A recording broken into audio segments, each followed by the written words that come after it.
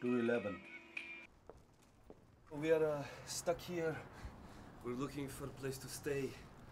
Please, a lovely um, gift for the holidays.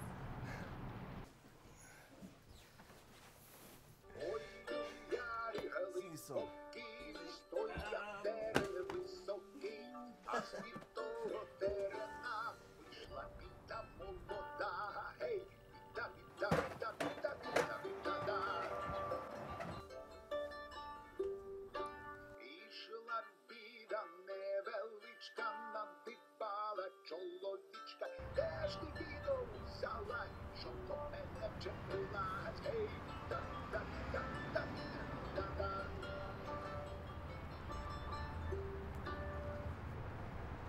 You're not going to leave me here all alone.